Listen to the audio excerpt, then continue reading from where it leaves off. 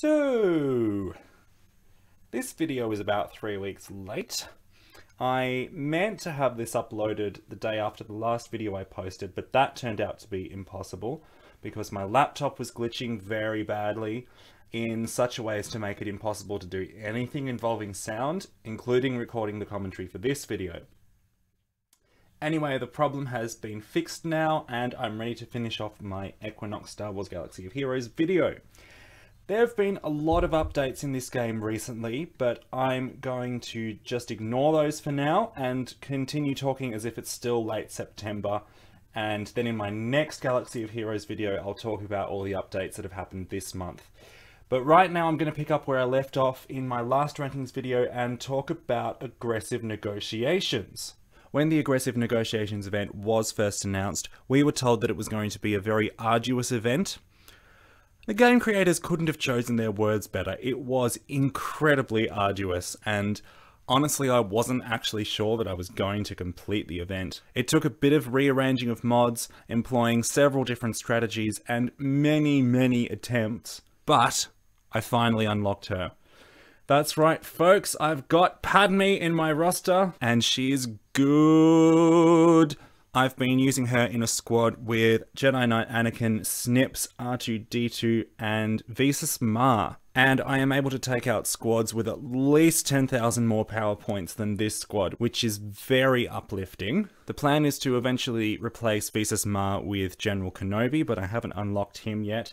And she is a good placeholder because she has a revive ability, and also because she's good against Sith. And a lot of people in this game have noticed that Palpatine is a very powerful counter to Padme squads. So putting Visas Marr in there has kind of been a counter to the counter.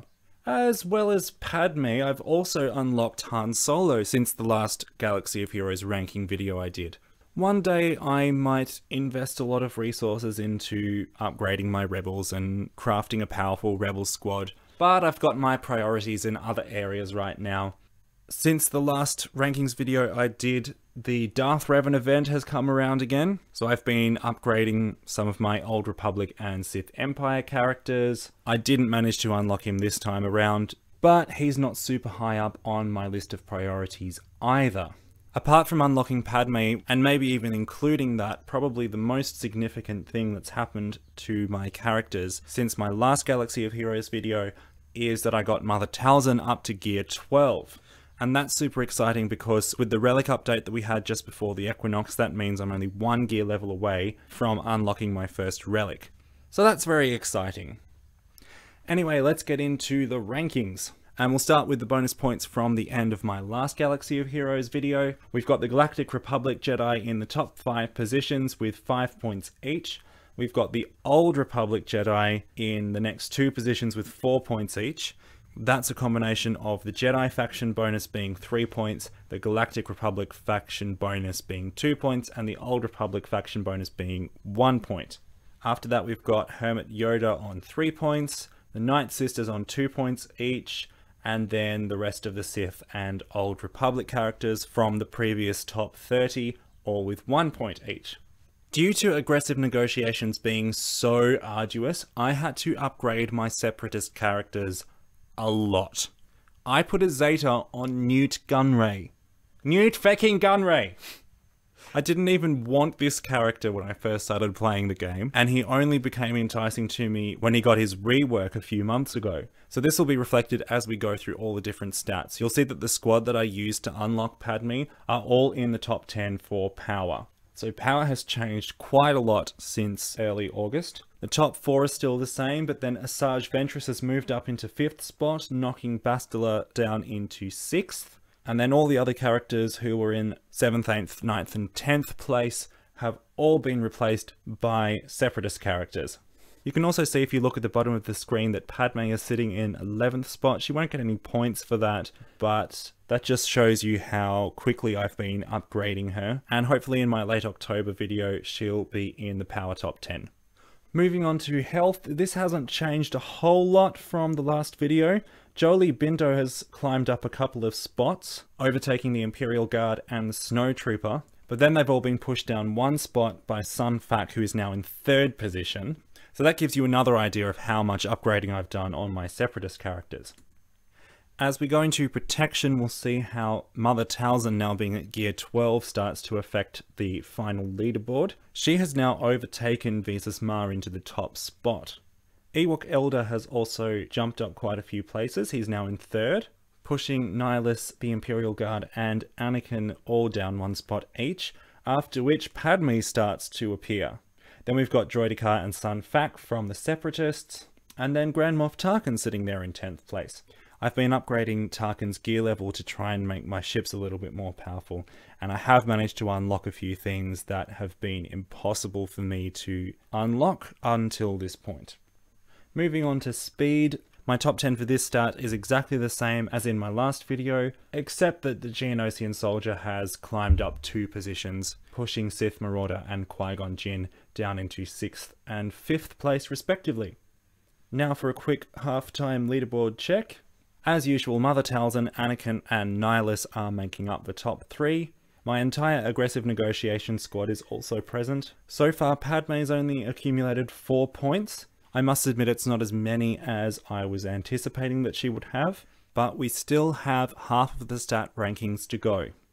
Back in August, Mother Talzin was in 6th place in the physical damage top 10. She is now in 3rd place, which will add 8 points to her score again demonstrating how much of an increase in everything a character gets when they've gone up a gear level. A lot of the Separatist characters also appearing in this top 10, and also the Imperial TIE Fighter pilot, which is different from the last rankings. I'm not sure what upgrading I've been doing to him to make him appear in the physical damage, but there you go. On to special damage, and Mother Talzin, of course, holds her top position from the last Galaxy of Heroes video. Darth Nihilus has creeped up into second place, swapping places with Grandmaster Yoda. Talia's also gone up a gear level, so she has swapped places with T3M4. Then, of course, with Darth Revan's event having recently come around, I've been upgrading Bastila Shan. I've promoted her to 4 stars, which is one more than she had during the last video. Not enough for participation in the Darth Revan event, but enough to get her up into 6th place for 5 special damage points to be added to her score. Interestingly, Hermit Yoda rounds out this top 10. I'm not sure why, considering he doesn't do any damage at all. So that's a little bit odd, but there he is. And as a result of Bastila and Yoda now being in this top 10, R2-D2 and Admiral Ackbar have been pushed out. So back in August, there were a lot of characters who experienced potency upgrades, resulting in Mother Talzin being pushed down into 10th place for that stat. This time around, with her gear level increase, she is now up in 4th position, so she is back with a vengeance, ladies and gentlemen. The rest of the top 10 potency characters are all the same as last time, they've just shuffled around a little bit. Once again, we finish off with Tenacity, and I must admit I cheated a little bit here. I was looking at Jedi Knight Guardian stats after I made the last video and realized that I had a lot of very high tenacity mods on her, which she didn't really need or benefit from that much. So I've remodded her and that's removed her completely from the tenacity picture. You can't even see her in the other five characters that make up the top 15. Apart from that, it's all quite similar to the early August rankings. The only differences are the fact that, again, Mother Talzin's gear increase has pushed her up into the top five. And we've also got Padme there as well in ninth place, so she'll score two points for that. So that brings us to the final leaderboard. Back in August, I speculated that Padme might be in the top 10. I could hardly have made a more incorrect guess. There she is in 29th spot, just above Snowtrooper. That's her first time receiving points in these ranking videos. Just above her is Asajj Ventress, not her first time receiving points in these videos, but the first time that she's made it to the top 30. Sith Marauder sitting above her on 7 points, 1 point less than in August, but in exactly the same rank position. Magma Trooper has fallen 6 places, he's on 8 points, and then IG-100 and Zaalbar both down one spot each from the August Galaxy of Heroes video. Visas Marr has fallen down four spots to 23rd place. That'll of course be due to her being overtaken by Talzin in the protection rankings. Hermit Yoda is up 4 spots in 22nd place, maybe due to the fact that he made the special damage top 10 for some random reason. Maybe when he calls other characters to assist, the damage that they deal is based on his stats rather than their own. I don't know how it works. The next group of seven are almost all in a lower ranking than they were last time, most notably the Imperial Guard who's down 12 spots in 20th place. Then we've got Darth Sion, Darth Sidious, T3, Jedi Bastila all on 11 points each, and then Sith Bastila up 13 spots on 12 points. Of course, due to all the upgrading that I did for the Darth Revan event, this is the first time that she's ranked above Jedi Bastila, which is very interesting. Moving up, we've got Qui-Gon Jinn and the Night Sister Initiate on 12 points each. Jolee Bindo on 13 points, up 5 positions from last time. Geonosian Soldier with the most impressive ranking jump that I've ever seen in this series of videos so far. He's up 18 places from my August rankings. Droideka in 10th place, up 15 places from last time, so almost as impressive. Talia is up 3 positions in 9th place on 15 points. Old Daka is down to 8th place. She was in 6th place back in August, and she's lost quite a few points since then. But it looks like her decline in placings is also due to Ewok Elder now being up in 7th place on 16 points, followed by Grandmaster Yoda in 6th place on 18 points. That's about 7 points less than he had at the end of August.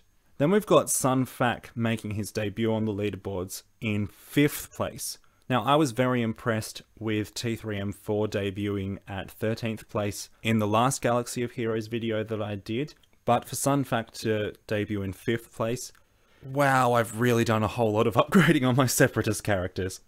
And then our top four are all in exactly the same positions as they were in the last rankings video.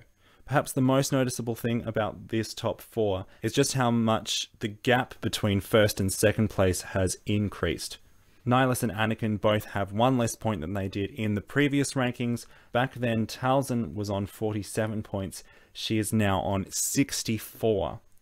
So if Talzin were a faction all on her own, she would have made the top 5 faction points, because we can see over the other side of the screen, in 5th place, the Sith total 51 points. So that's 13 points less between all of them in these rankings than Talzin has just on her own. So they're down one position from last time, but that won't affect the amount of bonus points that the Sith are awarded at the end of October because the fourth and fifth place get both get one point each. Separatists are now in fourth place, totaling 70 points between them.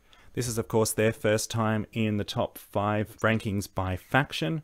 The Galactic Republic on 84 points in third place, exactly the same rank as last time. And then the Jedi are down in second place with 112 points, swapping ranks with the Night Sisters, who have pushed past them into first place on 137 total points. There are several characters outside of the top 30 who have contributed points to these faction totals. These include Nute, Snips, Jedi Guardian, and B1 Battle Droid. While they have contributed points to their faction's overall totals, because those characters are outside of the top 30, none of them will receive any bonus points in the next Galaxy of Heroes rankings video. So this round has seen a significant decline in the prominence of Galactic Republic Jedi, and while they will still get the most bonus points for the next round of rankings, they won't get as much of a head start as they have in these first few videos. On top of that, there will be significantly fewer of them. We've only got Anakin, Grandmaster Yoda, and Qui-Gon Jinn. Asajj Ventress will also receive 4 bonus points at the start of the next round, 3 points from the Night Sister faction bonus, and 1 point from the Separatist faction bonus. So a very interesting top 30 this time around. Once again, my estimations at where Padme would place have been very wrong. She's in the bottom 2 instead of the top 10, as I speculated last time. The Night Sisters are starting to dominate, and the Jedi are starting to decline. Will they keep falling down the rankings, or will they make a comeback in my next Galaxy of Heroes video? Well, because this one was so late, we only have to wait a few weeks to find out. My guess is they will start to climb up again because hopefully by the time I make the next round of rankings, this guy will have joined my roster. Anyway, that is all for now. If you play Star Wars Galaxy of Heroes, let me know in the comments who the most powerful characters in your roster are. If you enjoyed this video, please leave it a like, subscribe to the channel, and don't forget to share it with all of your friends.